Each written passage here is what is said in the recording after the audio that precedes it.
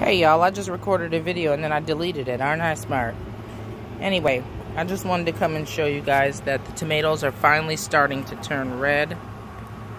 If I can zoom in there and show you guys, you guys see that? That is my first red tomato. Isn't that exciting? So I should be able to start eating these soon. Um, some other ones are blushing. That one's not completely red, so I'm going to leave it on till it turns completely red. Um, but very excited about that. Um, these tomatoes here, I still don't know what kind they are. If they are what they're advertised as, they're going to be yellow tomatoes.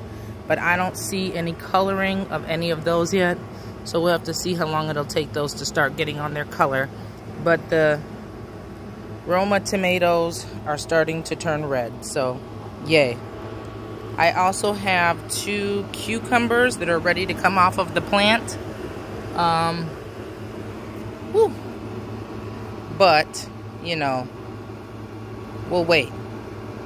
Because There might be a cicada in there, and I'm not trying to scream on camera again. Oh, while I'm here, show you guys my other little pepper that was really, really little the other day. Can you see it there? I don't know if you can see it. It's starting to get much bigger.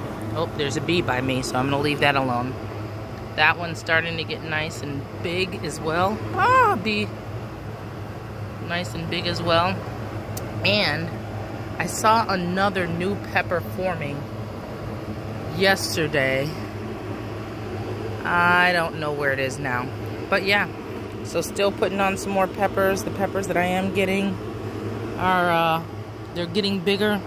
I don't see any coloring on any of the peppers yet. So I'll let you know as soon as those start getting some different coloring. But right now they seem to all still be green. Alright, I didn't do a good job of filming today. There's too many bugs out here at the moment. And I'm not willing to uh,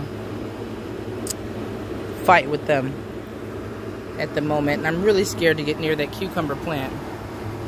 Oh, wow, look at those peppers. They're starting to get big back there. Oh, I'm so excited. Oh, there's another one that's starting to form back there too. Excellent. Okay, I'm gonna get in the house before I bother the bee. Peace out, y'all. Grow something.